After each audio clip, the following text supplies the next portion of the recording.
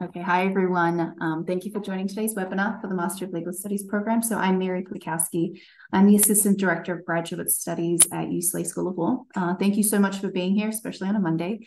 Um, so some of you who are joining us, um, you uh, are rejoining us to hear more about the update to the Master of Legal Studies program. So it is nice to see you again. Uh, some of you may be joining us for the very first time to learn about the Master of Legal Studies program. So it is nice to meet you uh, we will have a little bit of something for everyone uh, in today's session.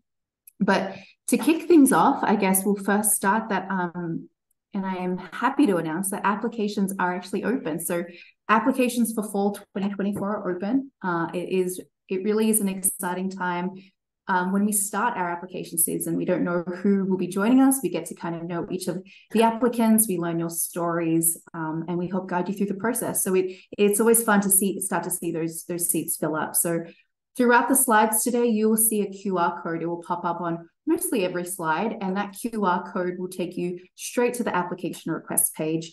Um, from there, you can go ahead and request an application and start applying. But very exciting, applications are open. Fall 2024 recruiting is, is in full swing. Um, but without further ado, um, I will like to introduce to you all Assistant Dean Jason Fisk. He has the even bigger, more exciting announcement. Uh, Dean Fisk, please do us the honors. Thank you so much, Marion. It's so exciting to be with you all here today. Uh, for for this is our uh, fifth year go now. This next August, uh, our incoming class will be our fifth incoming class to this Master of Legal Studies program.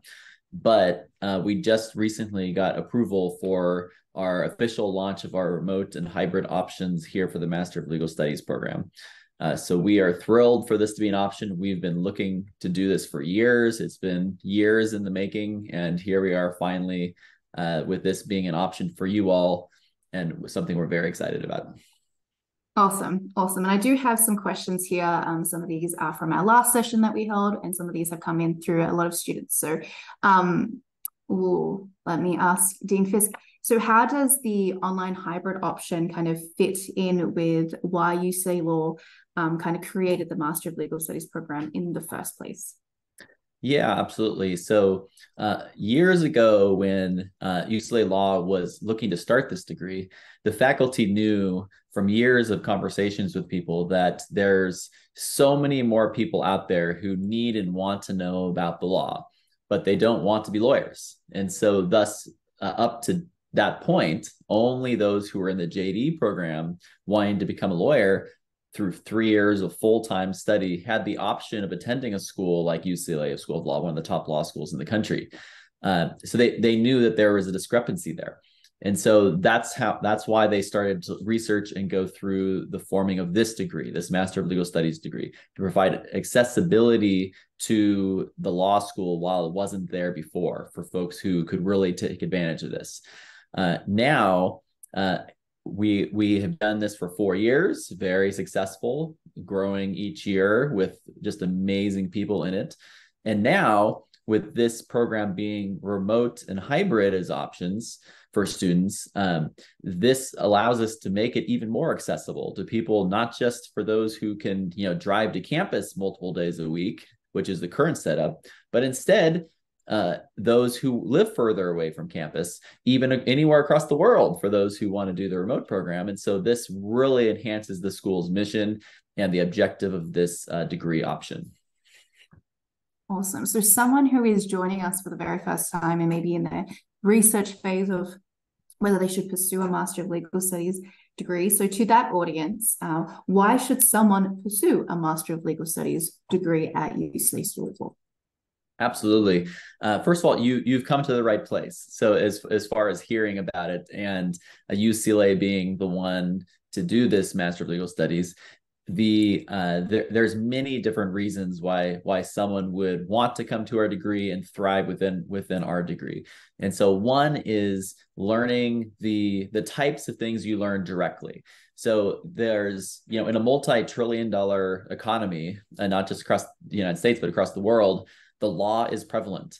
And for those who, whether whether you're a CEO in in uh, dealing with regulations or compliance matters, uh, employment law issues, whatever your angle at it is, the the law is pervasive, and gaining a knowledge where you can have a sophisticated level of understanding related to it really helps catapult you forward in directions that others without it won't be able to do. So, you know, the higher up the food chain you go within your organization, the more the law becomes involved. So, this degree allows you to prepare not just for your current position of where you're at, but your next steps as far as when you when you are get up to management or if you're just or if you're in the management now you know you not a single manager in the world doesn't have to deal with employment issues and contracts negotiations you know all these types of things. And so that's the first one of the first benefits of our degree of our degree. The second benefit is a big one and it is the the network that you gain through ucla so there is uh, directly in our program it's filled with just extraordinary individuals with extraordinary backgrounds who have done extraordinary things. And each each one of them is a resource to you. So we now have year now a few years worth of alums. We have a passionate alumni base with our uh, mls alumni council that was just started because they want they want to help you you the students and the soon to be admitted students into our program to succeed in all aspects of your career. So these are uh, some several of the reasons why people choose our program and why our program has really helped a lot of people so far, which is something we're very proud of. Awesome. And so we do have two ways of completing the program. So we have the full time option, which is one year or nine months. You start in the fall, you graduate in the spring. Um, we also have the part time option, which is two to four years. Um, you can complete the program anywhere there, just depending on your schedule. But 70% of our students are working professionals who are completing the degree on a part time basis. So they can continue to work full time and take classes on a part time basis. Um, so Dean Fisk, how will the move to online hybrid, so how will that online hybrid option, say, affect a full-time student? And then separately, how will the online hybrid option affect a part-time student? Absolutely. So first to, to our full-time people who are considering the full-time program, there's really three types of students who we get usually inside the full-time program they're listed on the screen there the first is you know recent graduates or somewhat recent graduates Second, those who are coming in on F1 visa, we get several of those each year. And then third, those with the flexibility to take, you know, a sabbatical or some time off work to focus on this program. We get a few of those each year. So this uh, it that is and it is a full-time commitment. So some people are like, well, I can keep doing my job, right, and do this. We're Like, mm, no, that's not, that's not that's not going to work. It's it's the yes, there's the classes, but there's it's a significant time commitment to be able to knock this thing out in nine months. You know, doing the fall and the spring semester. Uh, and so with the online hybrid option now available, I'll talk about this more extensively later, but the gist is is that um, there the those uh, courses uh, everyone has the choice of doing the core curriculum either remotely or in a hybrid fashion, and it's the elective classes in the uh, you will also have it some of them will be available in a remote. However uh, for this next year if you're a full-time student uh, not all students would be able to do the uh, d- to do the remote or hybrid option entirely if you're a full-time student because it's so condensed into such a time span there just wouldn't be enough classes in all likelihood. Now i'll talk a little later about there's an ex- there's some extensions to that and you can talk to us about that. But in in general if you're intending to be a full-time student you should probably intend to be here in Los Angeles to be able to do this degree because the classes you'll have throughout the day and also significant ones in the evening. So that's for the full time program. And again, knocking it out in nine months, two semesters. So that's uh, which we have plenty of students do each year.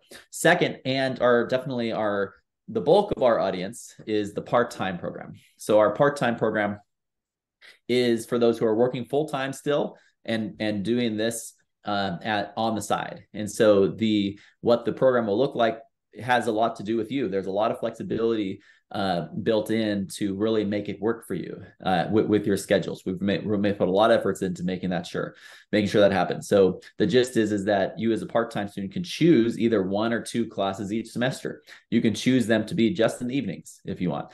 And this is the new thing is you can choose those to be online uh, in the evenings as well or hybrid coming to campus one day and be online the other day.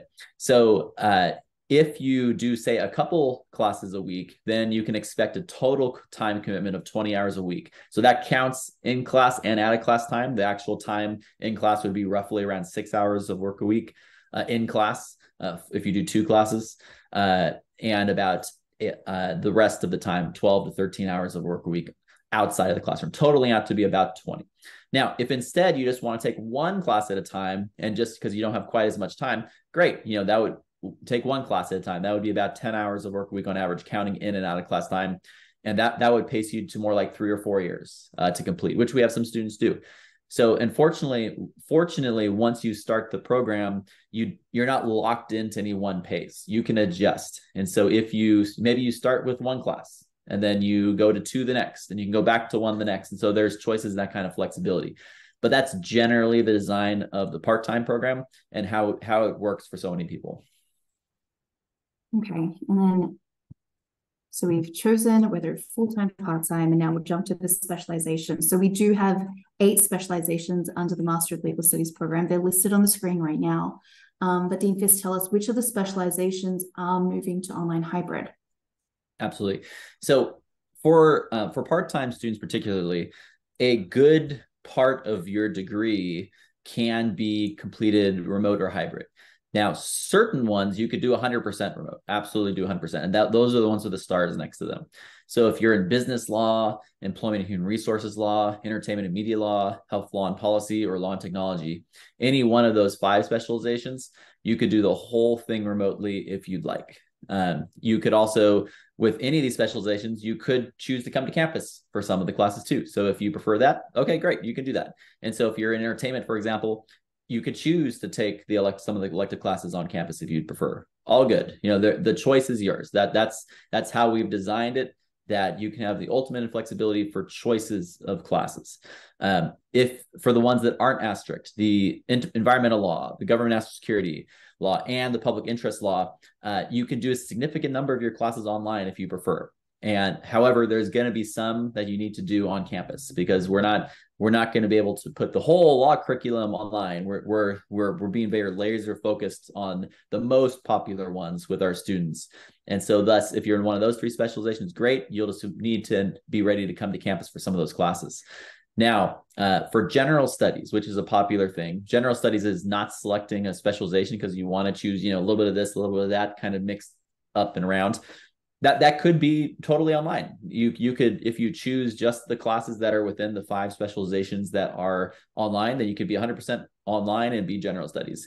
If instead you want to do maybe a several public interest classes or whatnot and mix it around, then then those would be on campus. And so thus it's it's totally up to you as far as how you want to complete the degree. But that's kind of a little bit of the gist is that if this specifically matters to you, talk to us, e- email us, connect with us, ask your questions. We'd be happy to um, help help guide your path as to what the best option is.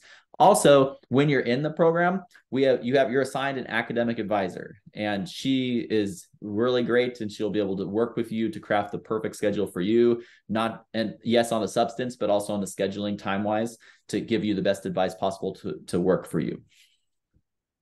Awesome. So just we mentioned diving a little bit deeper. So um, in terms of what a typical schedule could look like for, say, a part time working professional, what they can expect in terms of their options during each phase of the program, because we do have three phases of the Master of Legal Studies program. They're listed here. Um, but, but Dean Fisk, dive a little deeper into each phase and what that format looks like in each. Absolutely. So the phase one we call is the core curriculum. So all Master of Legal Studies are together in these classes. So with your cohort, you'd you'd be with them through all the core curriculum classes, regardless of your specialization. When you apply to our program, it asks you the question, you know, would you prefer hybrid or online for the core curriculum?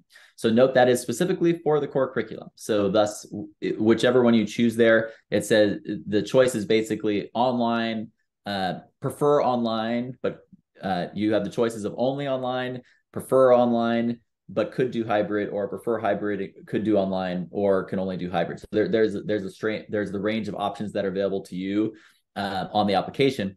But in the core curriculum, you if you're doing online, then it would be Tuesday, Thursday nights, uh, both online, uh, starting at 6:30 and going till 9:30. If you do hybrid, then what it would look like, you'd be on campus 6.30 to 9.30 on Tuesdays, and then you'd be um, online from 6.30 to 9.30. So that, that's what your schedule would look like for the core curriculum classes. Um, so that's regardless if you're, that'd be both full-time and part-time, you're all together.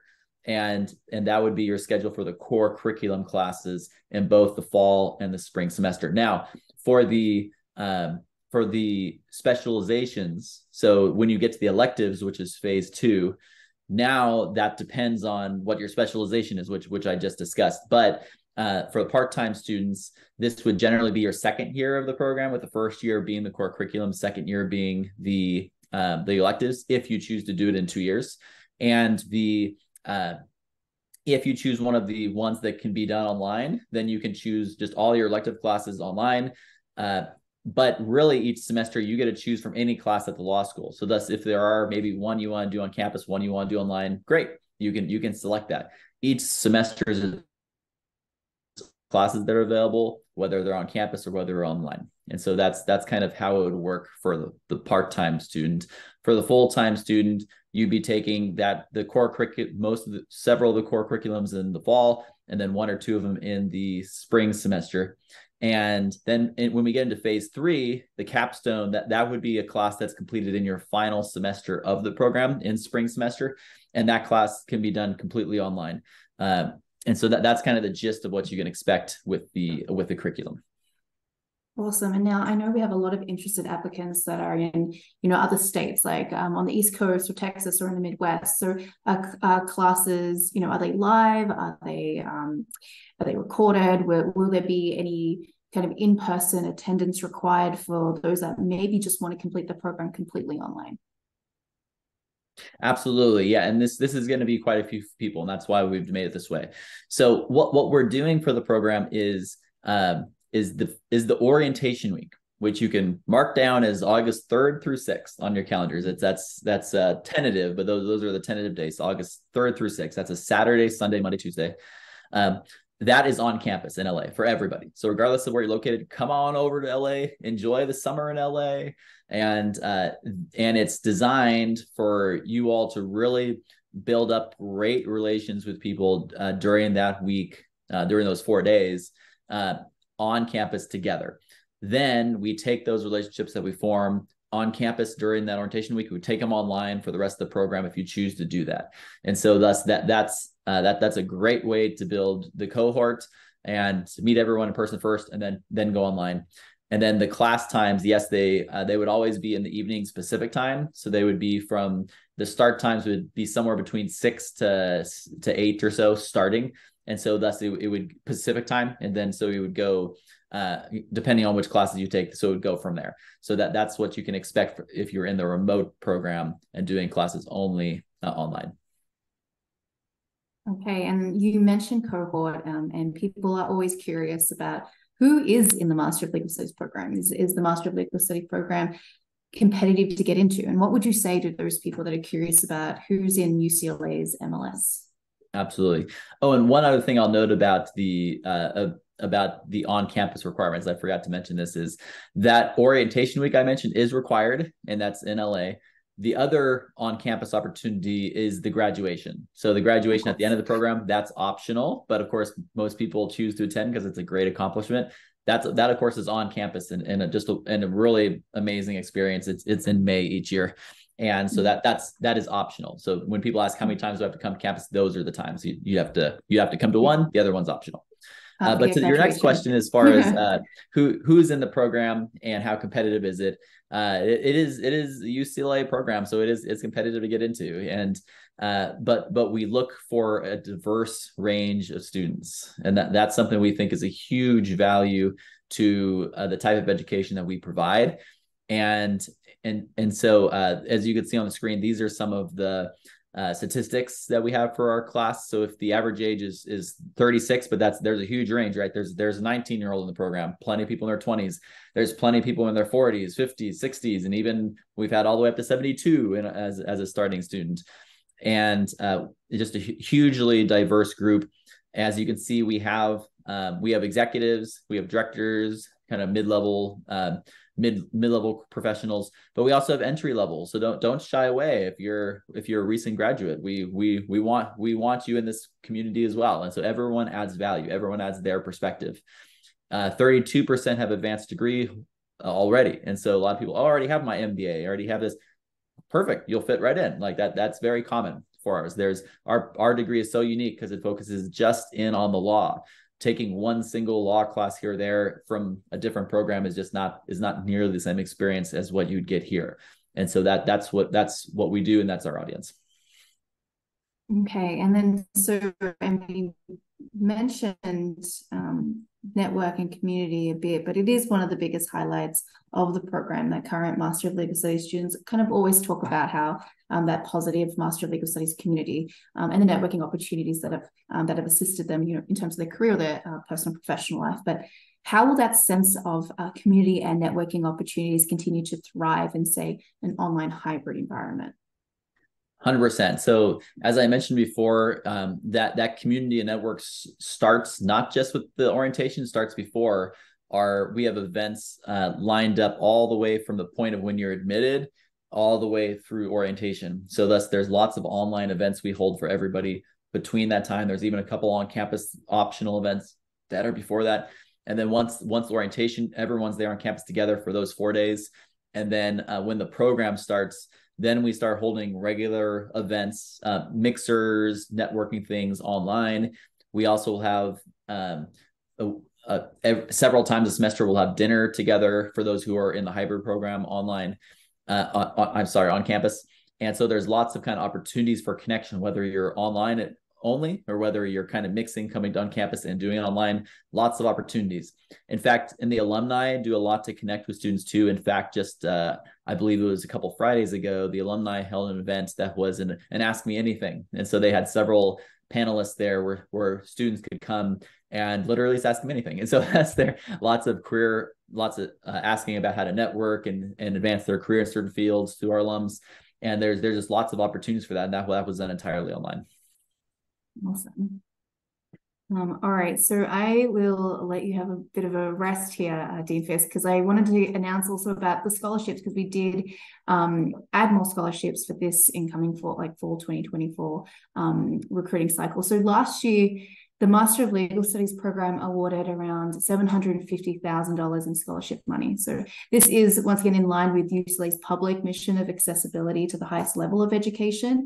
So this year we will have scholarships. You'll see it on the screen. We'll have scholarships for uh, university employees, healthcare workers, for those that work in uh, government or nonprofit sectors. We also have a means-based scholarship for those that need financial assistance or are facing financial hardship. And then we also have merit-based scholarships for those who um, you know have professional accomplishments. So um, we will continue to have, you'll see it on screen, the Bruin Scholarship. Now, the Bruin Scholarship, all applicants are just going to be automatically considered for uh, when they apply and then um, students can also receive more than one scholarship award. So the scholarship opportunities that are there, you will uh, apply for those scholarships during the application. There is a specific call out and a whole page dedicated to which scholarships you wish to apply for when you are working on your application. Um, and for those that just apply by their priority deadline, which is November 20, you will automatically receive a bonus scholarship just for applying early. So just for applying in the priority round, you receive a bonus 5K scholarship. So um, really, if you are in any of the sectors or you have questions about scholarship, it is a popular question. I would actually just encourage you to come to our weekly advising sessions. We um, can chat specifically about you know your options. We can chat specifically about what you're thinking in terms of the program and which options you want to take. Um, and we can also dive a little bit deeper in terms of which scholarships uh, you want to know if you're eligible for. But uh, we have weekly advising sessions. We have four to five a week. So uh, feel free to join them. There at varying times. So dependent um, if you're on the east coast um, or you know central or on, on the pacific there should be a time that kind of works with your schedule. So um, that's the information about the scholarships. Again, come to an advising session if you want to dive a little bit deeper. On the screen now is um, information about the application requirements. All of it is done online. Um, you will um, when you scan the QR code, it will take you to request the application. You get the, an email from us that also has a little bit more information to help um, prompt you. And we'll also have application tip sessions coming up in the next few weeks that I would encourage you to, uh, to join if you are serious about applying. But another great place to chat with us is, is these, those advising sessions. Um, Dean Fisk, I did want to throw over a question to you, and it's a popular one that we get, and it's why, you know, uh, some people may want to wait until the new year to apply for our for our program. You know, it starts fall 2024, so uh, they're going to wait to say January to apply. But why would what is the benefit of applying during say the priority round as opposed to waiting until next year? Absolutely, a uh, there's definitely a, a couple advantages, and, and I'll note also if you're currently in say undergraduate or a master's degree, you can apply now. You don't have to wait. You you can apply now even if you haven't finished your degree and we encourage you to do so. So, but the couple advantages are one is uh, you you, you just know what you're doing already like earlier rather than waiting for longer to see if, if you're accepted into the program or not. And with that comes the advantage of being of being part of your cohort and building those relationships as early as possible. Because in february is when we start running events for the incoming class this august. It's it's a fantastic program immersive program. And so it, we have lots of month of build up of kind of you know getting to really know each other and building those super strong lifelong connections uh, as well as preparing you mentally for the program, and that that includes um, how uh, how to fit in the schedule, fit into your schedule, and also knowledge as far as how to succeed in a law school classroom and to build foundations of law as well. And and so thus there's a lot going on. The earlier in, the more time you can take advantage of it. Uh, the second main benefit is what what Mary already mentioned is uh, five thousand dollars scholarship, this bonus if if you're in or not. And so if you if you prefer to pay more, then yeah, wait wait until the until the next rounds. That that's that's fine. You can do that. But if if you prefer to pay less, then November twentieth uh, would get you that automatic uh, five thousand dollars scholarship. And that's on top of any other scholarships that you would receive. So yeah, incentive there, bring money, why not? Um, but the next, uh, so that's that wraps up that um, because I did include another exciting slide about something that we just recently um, announced. And um, this maybe you can tell us a little bit more about um, you know, uh, the executive education um, at UCLA School of Law's executive education. Um, but more importantly, let's start with the Bruin Bites. Uh, they're coming soon. These Bruin Bites, they're free. What are these free sessions that we're talking about? Absolutely. So, so we're so excited about this, and this is something that uh, people have been asking about for a long time, and that we're finally, you know, uh, starting it for this fall semester. And uh, essentially, the these are some options for to learn uh, that are not part of any degree program. So these are not classes that you know transfer in or count as credit because you're not doing any assignments. You're you're you're learning from the top law faculty in the world, including ones who are part of this Master of Legal Studies program. So the free Bruin Bites that are coming up are essentially free sessions that are uh, usually around four, will be about 45 minutes or so on specific topics of interest. And so the first one on October 5th is called Shaken Not Stirred: Protecting Television and Motion Picture Character. And so it's it's really for those who are interested in entertainment law oriented issues. The second one on October 12th is Radical Empathy and Negotiations from Professor Russell Korobkin. Professor Russell Korobkin has written books in this subject and is a worldwide expert in negotiations. And so if you if you do anything related to negotiations or will, highly suggest attending this. It's free. You can come on over. Uh, October 18th, the final the final of the Bruin Bites is understanding employment agreements. So fantastic for those who are uh, in HR and those who lead companies and have employees. And so this is a fantastic session. All those sessions are completely free. And then now tell us about the executive education. Um, how does it assist someone that is, say, interested in the Master of Legal Studies program? Because that's separate from the Bruin Bites.